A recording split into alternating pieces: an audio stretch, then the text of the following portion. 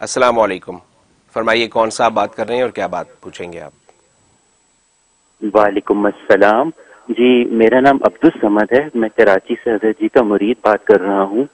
अल्लाह ताला बस हज़रत जी को जजाय खैर दे। हज़रत जी जिस तरह मेहनत करते हैं उम्मत के लिए और जिस तरह हज़रत जी ने उस दिन तकरीबन चार सवा चार घंटे की इतनी लंबी टेलीथॉन भी की और वज़ीर वजाय वगैरह हम उम्मतियों के लिए ढूंढते रहते हैं कि क्या बेहतर है क्या नहीं बेहतर किस तरह की देते हैं। ये हज़रत जी का खासा है। बस मैं बहुत सारे दुआएँ दे सकता हूँ हज़रत जी की मेहनतों और काविशों के लिए। मुझे कभी कभी लगता है हम हज़रत जी का जो हक अदा करना चाहिए है, वो बिल्कुल भी अदा नहीं कर सकते। तो मैं इसमें हज़रत जी से अपनी कोताही की माफ़ी भी माँगता हूँ कि इस तरह आपका हमें हक अदा करना चाहिए, हम नहीं कर पाते। मेरा सवाल सिर्फ़ ये था कि अगर एक शोहर अपनी मतलब अपने अमाल में, चीज़ों में अल्लाह ताला की मोहब्बत हासिल करना चाहता है, और अगर उसकी बीवी मतलब नमाजों की पाबंदी नहीं करती तो क्या इसमें शोहर के दर्जात में कोई इम्पैक्ट आएगा बीवी की नमाजों की पाबंदी ना करने का? बस इसका जवाब अनायत हमारे दिए सलाम बहुत शुक्रिया अब्दुल समद साहब आपका कॉल करने का और हज़रत वाला से इतनी अकीदत रखने का। हज़रत से इसका जवाब ले लेते हैं जो आपने बकिया वीडियो देखने से पहले वीडियो को लाइक करें राहम टीवी चैनल को सब्सक्राइब करें और बेल आइकन पर क्लिक करें। शुक्रिया। माशाल्लाह अब्दुल समद साहब आप कराची पाकिस्तान से कॉल कर रहे हैं। और पाकिस्तान हमारा वतन अज़ीज़ वहाँ से कॉल आती है हमें दोहरी मुसरत होती है।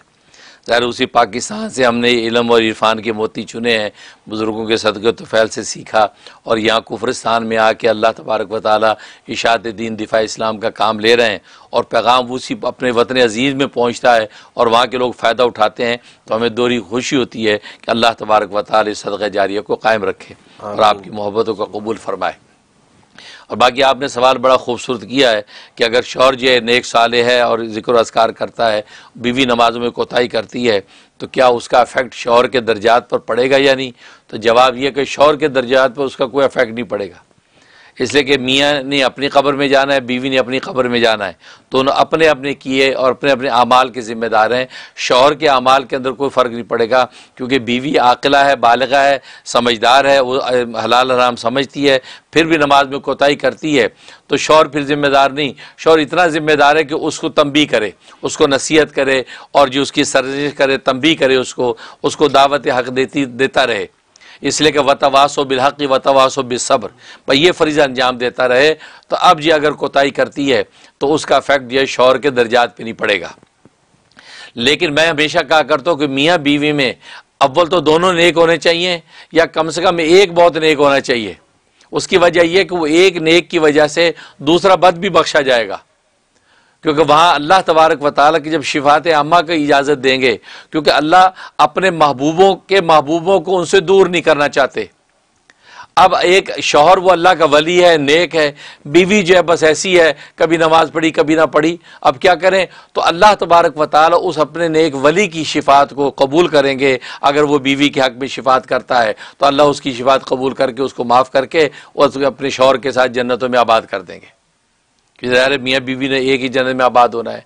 तो इसलिए अगर बीवी नेक है तो अपने शौहर को ले जाएगी। तो एक को नेक ज़रूर होना चाहिए। लेकिन बसों का ऐसा होता है कि अगर बीवी नेक है तो शौहर अगर ख़राब है तो वो उसको भी नेकी से मना करता है। ये ज़्यादा नमाजें ना पढ़ा करो, ज़्यादा तस्वीर ना किया करो, ज़्यादा राबिया बसरी बनी फिरती हो।